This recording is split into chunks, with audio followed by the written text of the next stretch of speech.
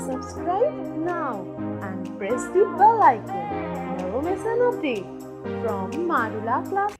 Hello students welcome in Mawla classes मैं आशीष त्रिपाठी, आज आपके सामने एक बहुत अच्छी इन्फॉर्मेशन आपके सामने लेके आया हूँ, जो MCA के लिए प्रिपरेशन कर रहे हैं उनके लिए पहला एग्ज़ाम जो महाराष्ट्र करा रहा है तो जैसे हम लोग बोलते हैं M A H M C A C T okay तो इसका नोटिफिकेशन आ चुका है। तो आप लोग अगर इसका फॉर्म भरना चाहते हैं, महाराष्ट्र से रिलेटेड जो कॉलेजेस हैं, जो एमसीए कराते हैं, अगर आप महाराष्ट्र में जाके एमसीए करना चाहते हैं तो बहुत अच्छा पॉसिबिलिटीज़ हैं।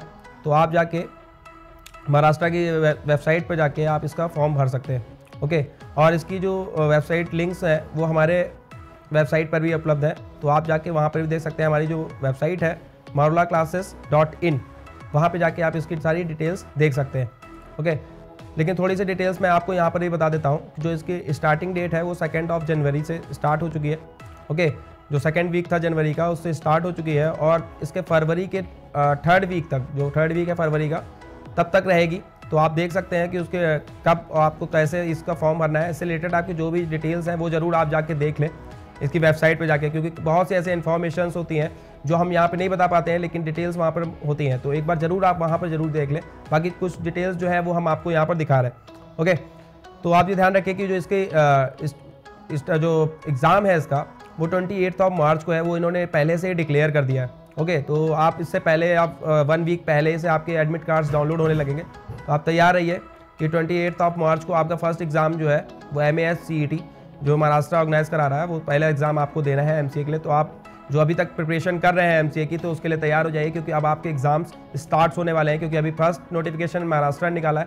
तो अब आने वाले और भी यूनिवर्सिटीज़ हैं, और एन आई निमसेट है, या एन आई मैं बोलूँ तो वो भी बहुत जल्दी कंडक्ट कराने वाले हैं, अपनी उनका भी नोटिफिकेशन आ जाएगा। तो मैं उनके साथ कुछ नोटिफिकेशन के साथ मैं फिर आपके सामने रहूँगा, ठीक है? लेकिन आज मैं जो पहले महाराष्ट्र के लिए मैं बोल रहा हूँ।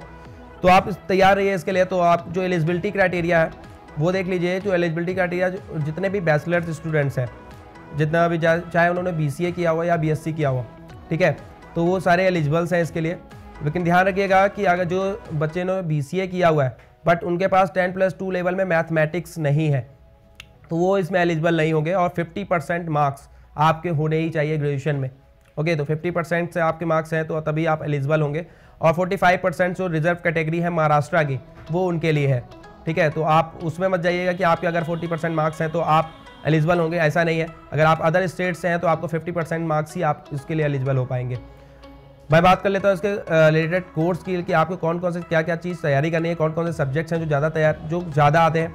तो मैं आपको बता दूँ कि मैथमेटिक्स का पार्ट जो है वो सबसे ज़्यादा थर्टी क्वेश्चन आएँगे आपके ओके और थर्टी ही क्वेश्चन आपके लॉजिकल रीजनिंग के होंगे और ट्वेंटी मार्क्स जो ट्वेंटी क्वेश्चन है सॉरी तो 20 क्वेश्चंस आपको इंग्लिश कॉम्प्रिहेंशन के और 20 क्वेश्चंस आपको कंप्यूटर से रिलेटेड रहते हैं। तो जो कंप्यूटर का पार्ट रहता है, वो आपका जैसे कुछ लैंग्वेजेस का पार्ट रहते हैं। जो लैंग्वेज में आपने पढ़ा हुआ है C C plus plus like आपके उस टाइप से थोड़ा सा फ्लो चार्ट्स वगैरह।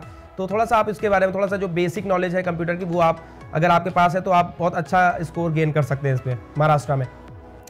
क्योंकि आप ये ध्यान रखिए, क्योंकि हर एक क्वेश्चन हंड्रेड क्वेश्चन ही रहते हैं इसमें, और आपको जो टाइम ड्यूरेशन रहता है वो वन नाइन्टी मिनट्स का जो टाइम ड्यूरेशन रहता है, ठीक है?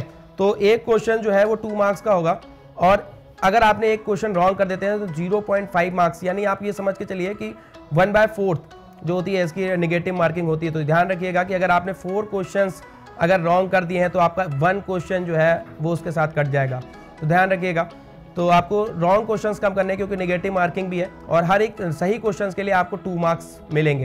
यानी 200 मार्क्स का आपका ये क्वेश्चन पेपर होगा। तो ध्यान रखिए 90 मिनट्स हैं आपके पास।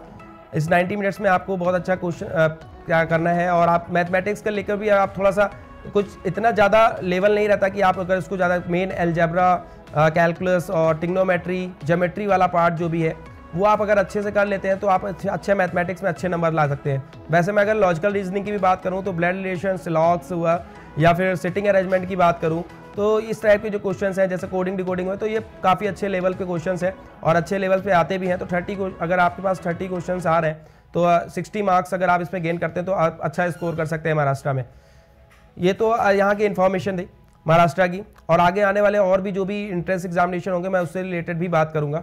तो अगर आपको इससे रिलेटेड अगर कोई भी क्वेरी है तो आप हमारी वेबसाइट पर जाके आप इस और थोड़ा इसके डिटेल्स दे सकते हैं और आप हमें मुझे यहाँ पर भी कमेंट्स कर सकते हैं, मैं यहाँ पर आपको बता दूँगा। जो मेन एलिजिबिलिटी थी वो मैंने आपको बता दिया है कि मेन आपको जो BCA या BSC जो भी आपने टेन प्लस टू लेवल पर आपके अगर मैथमेटिक्स है, और लेकिन अगर आपने मैथमेटिक्स है और आपने BCA किया हुआ है तो आप एलिजिबल होंगे, लेकिन अगर आपके पास टेन प्लस टू लेवल में मैथमेटिक्स नहीं है और आपने BCA किया हुआ है तो आप एलिजिबल नहीं होंगे इसमें, क्योंकि इसमें स्ट्रिक्टली रखा है कि कम से कम टेन प्लस टू लेवल में या बीएससी लेवल पे आपके पास मैथमेटिक्स होना इंपॉर्टेंट है ओके तो आप इस बात को ध्यान रखें कि आपको टेन प्लस टू लेवल में मैथमेटिक्स है, तभी आप एलिजिबल हैं इसके लिए महाराष्ट्र की। ओके गाइज़ आई थिंक और जो भी इन्फॉर्मेशन है, वो आप हमारी वेबसाइट मारूला डॉट इन पर जाके डिटेल्स देख सकते हैं। Thank you so much